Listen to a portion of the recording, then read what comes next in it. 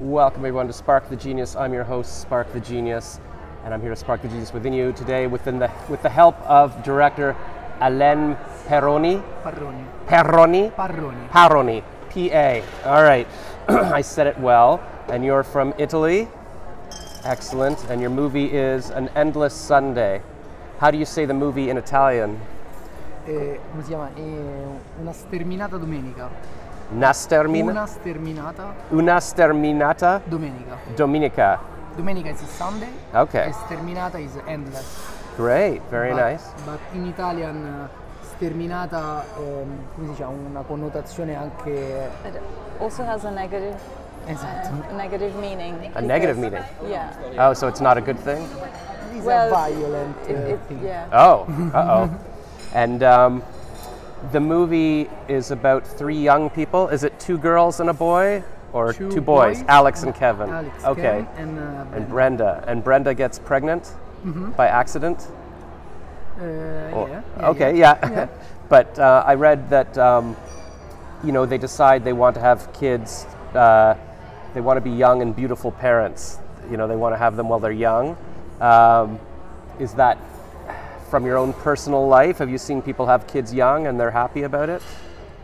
Se nella tua esperienza hai visto molti genitori adolescenti che sono felici di essere genitori così Sì, giovani? in realtà i miei genitori stessi, mamma mi ha fatto che aveva 18 anni e papà ne aveva 20 e così hanno fatto anche subito i miei fratelli. In realtà da dove vengo molti ragazzi eh, in realtà fanno figli dai 16 anni in poi. Yeah, in the area where I was brought up, actually, it's uh, quite common to have children young. My own parents had me very young. My mother was 18 and my father was 20, so it's Wow. from personal experience that I. That's cool because I'm.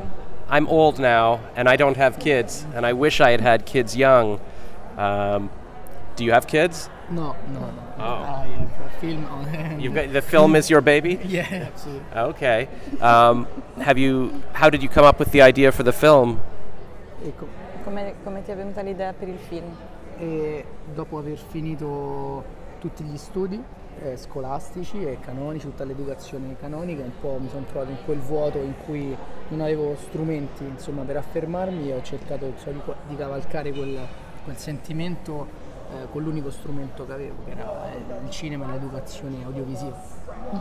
So after my studies, you know, I went through conventional film school, and after it all ended, I was kind of in a limbo where I had no tools to make my own mark, and the only tool that I had at my disposal was the camera, and all my knowledge from film school. So I put that into practice and came up with the product.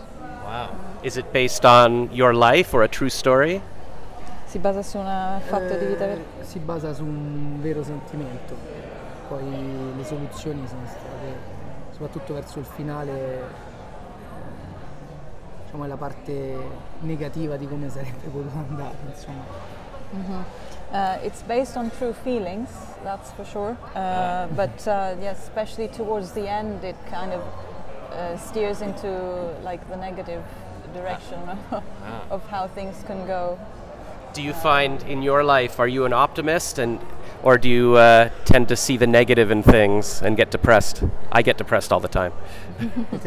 Se, se hai degli episodi a volte negativi anche te nella vera vita di depressione eh, o se sei più ottimista e cerchi sempre il lato ma positivo diciamo delle cose? che la generazione con cui cresciamo ci, ci- ci rende molto am- ambiziosi anche ci- e, e veniamo spesso soffocati insomma come, come voce, quindi diciamo che più che depressione diciamo che quel senso di, di emergere, di lasciare un segno che è qualcosa che a volte si può alimentare anche negativamente, però se uno ha uno strumento come quello del cinema in realtà poi la vive in maniera estremamente positiva.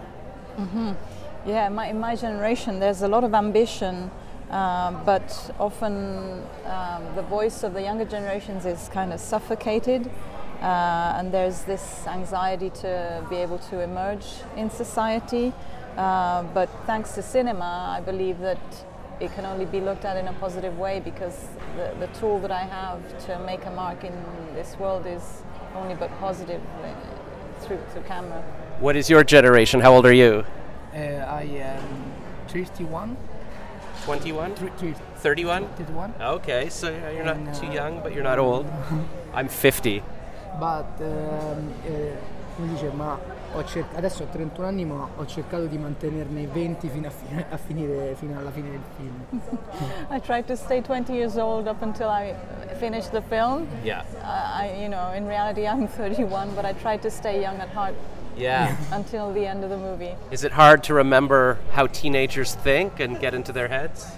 Sì, eh, so, mm, aspetta, ripeti. È difficile entrare un po' nella mentalità dei Sì, teenager abbiamo, del mondo infatti ho intervistato tantissimi ragazzi, più di 60 giovani ragazzi e li andavo a intervistare anche a scadenza di due anni e quattro anni per vedere un po' come loro vivono e per non perdere quel contatto con quella fase della vita in cui veramente non sai perché stai al mondo. Mm, yeah, I interviewed so many kids um, every two years, and then you know after in the fourth year, from knowing them. So you know, I trying to get into their heads and see how they think. Uh, because obviously it's a time, adolescence, when you really don't know why you're in this world and you're asking yourself so many questions.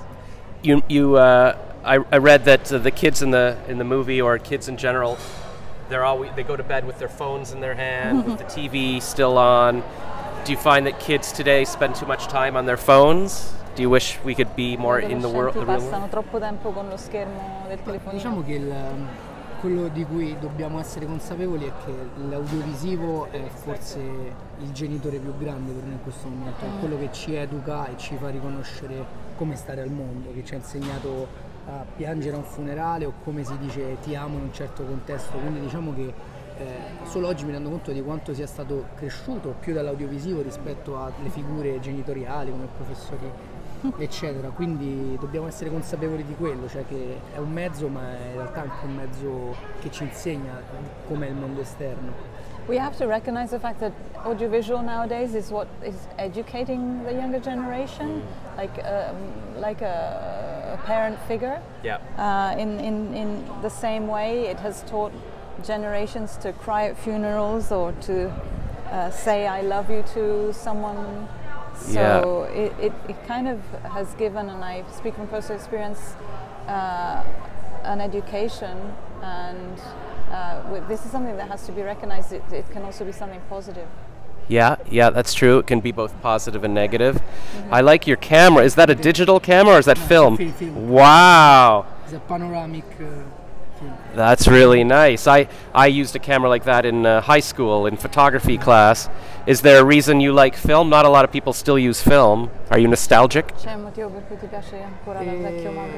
a scuola ho studiato quando ancora, ancora non era arrivato il digitale, in realtà ero proprio gli studi superiori li ho fatti eh, a cavallo del passaggio al digitale, quindi fino al- a un certo punto sviluppavamo in camera oscura e poi improvvisamente è subentrato il digitale, quindi in realtà conservo eh, questo feeling con, con- con la pellicola perché in realtà è da dove, insomma, dove ho iniziato un po' gli studi. Yeah, it's it's kind of where I started because when I was going to school, it was just ending. Uh, you know, the uh, the old style of taking pictures and digital was just uh, starting. So we used to still develop in the dark room, Okay, and then we moved to, to digital. So I have a very strong relationship with film.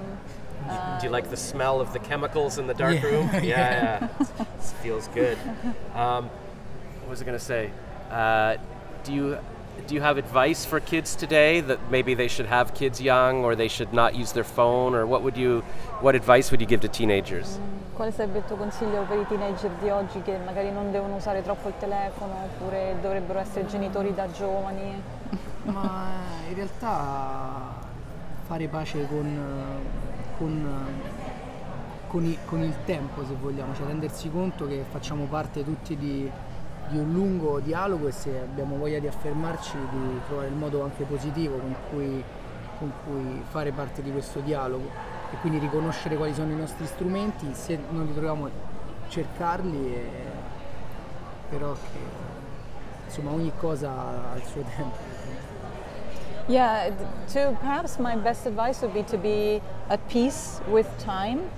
Um, we can all be part of this very long dialogue of existence in, in the world.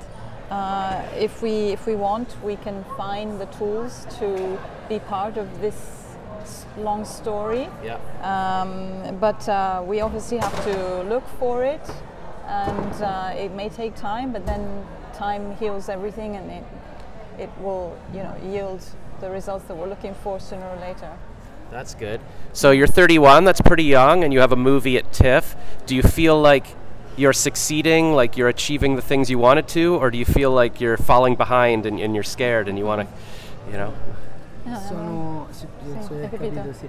Eh, diciamo sono sicuramente un po' imbarazzato, ma perché il film è stato realizzato in maniera estremamente casalinga con tanti coetanei e quindi riuscire a portarlo così tanto appunto anche a Venezia, anche tutti i premi che abbiamo ricevuto nei giorni eh, passati è qualcosa che anzi un po' imbarazza, come se ci fosse quasi un'invasione improvvisa della privacy in cui stiamo ancora a casa ed entrano migliaia di persone, quindi è, è come se fosse una grande festa inaspettata, quindi è allo stesso tempo eh, spaventoso ma anche divertente.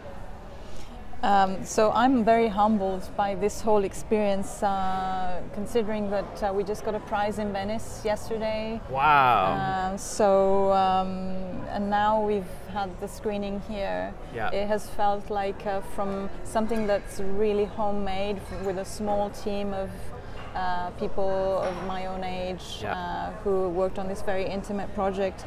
And suddenly there's like an invasion of privacy oh, now you're famous. that has happened Yeah. with thousands, you know, knowing what I had come up with and had been working on Wow. something behind closed doors for so long. So it's scary but fun at the same time.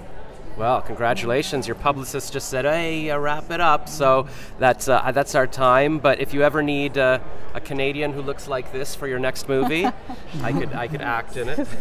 I will learn Italian too. basically il suo aspetto. Puoi imparare l'italiano per farlo. Thank. All right. Thank you so much. Thank you. Thank you. Grazie. Uh, how do you say it? Grazie. Grazie. Grazia. Grazie. Thanks. Ciao.